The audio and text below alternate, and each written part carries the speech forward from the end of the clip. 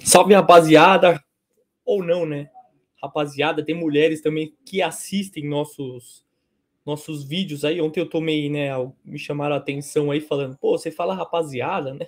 Então, rapaziada e moças que assistem aí a TV Alviverde, tudo bem com vocês? Hoje trazendo mais uma, né, daquelas especulações, né? E uma curiosidade também aí sobre o Valdívia, né?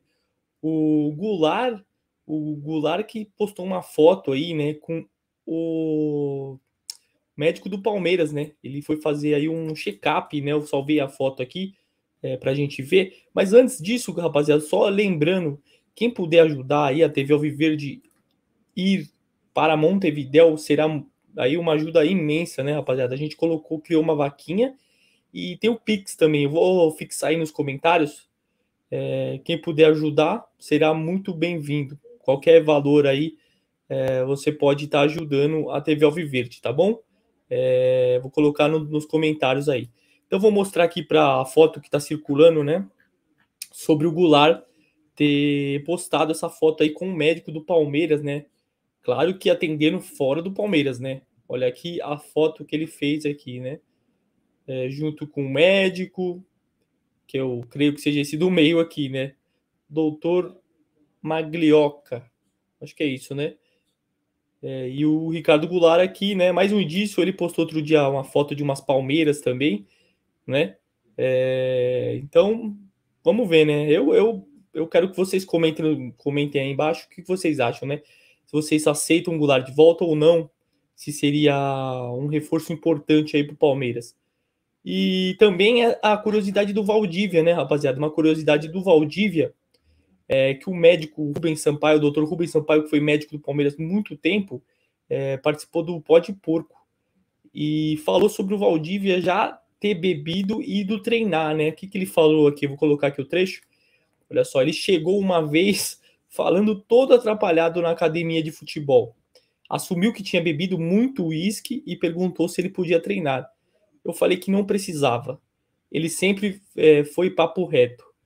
É, então é, pelo menos ele assumia, né? E, e mesmo bebendo, né? Que não, não, se deve fazer um jogador de futebol e depois de treinar, ele pelo menos aí era sincero, né? Porque tem jogador aí que bebe e nem vai treinar no outro dia, né?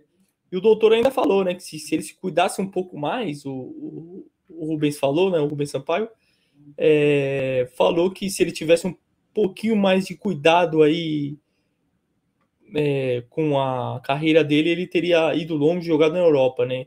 Falou até que em 2014, contra o Atlético Paranaense, eu infiltrei ele antes do jogo, né? Aplicou infiltração. E no intervalo, olha só, naquele jogo lá, importante pra gente, né? Que a gente conseguiu se safar do rebaixamento, né? Ele jogou com a perna amarrada, extremamente no sacrifício. Então é o Valdívia aí, apesar né, de todo mundo, muita gente falar dele ser chinelinho, ele ele aí tem uns pontos aí que a gente não pode deixar de, de exaltar, né? E é isso, rapaziada. Comenta aí o que você acha aí sobre a situação aí do Goulart, se você acha que ele vem, não vem. É, e também sobre essa situação do Valdívia aí, né? Valdívia que já está quase acertando com outro time aí, né? Eu não sei direito o certo nome do time, mas também já está acabando, infelizmente, a carreira dele. E você que puder ajudar na vaquinha lá, teve ao viver de rumo a Montevidéu, será de muito bom grado. Beleza, rapaziada? Vamos deixar aqui embaixo nos comentários o Pix e também o link da vaquinha. Valeu? Hoje tem clássico, hoje tem react é, e pós-jogo, direto do estádio, se Deus quiser, com a vitória do Palmeiras.